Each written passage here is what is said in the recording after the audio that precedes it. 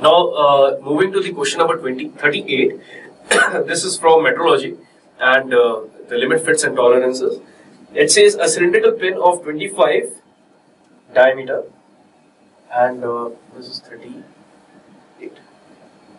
So the diameter of cylindrical pin is given by 25 plus and minus plus 0.02 plus 0.02 and uh, plus 0.01 0.01 mm. So what I can see is it is making two dimension which is 25.02 mm and 25.01 mm. Right? Right. And the plating thickness, the plating thickness is given to you as plating thickness.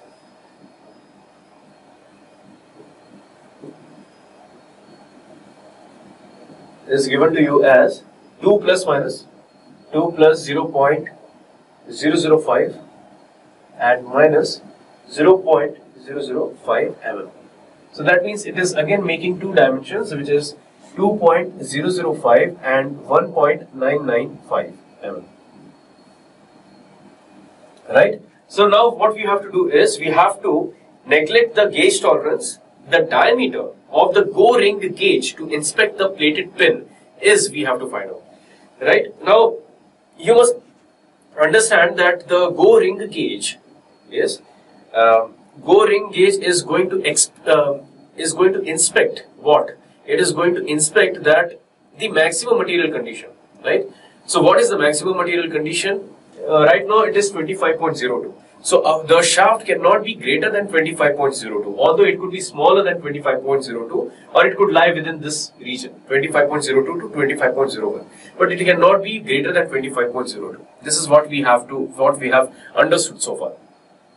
But obviously because of the plating thickness its diameter is going to increase a little bit. And uh, so the ring gauge go ring gauge right?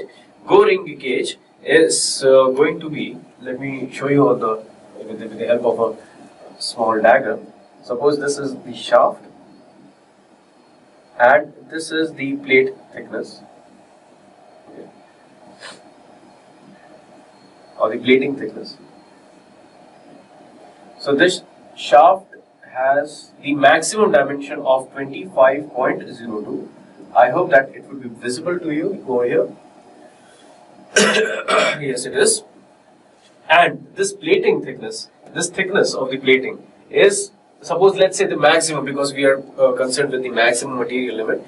So it is going to be on this side, firstly on over here, it is going to be 2.005, 2.005 and over here also it is going to be 2.005, 2.005 mm, right?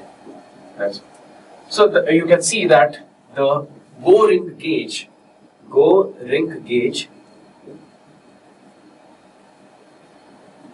has the dimension of 25.02 plus 2 into 22 times of 2.005.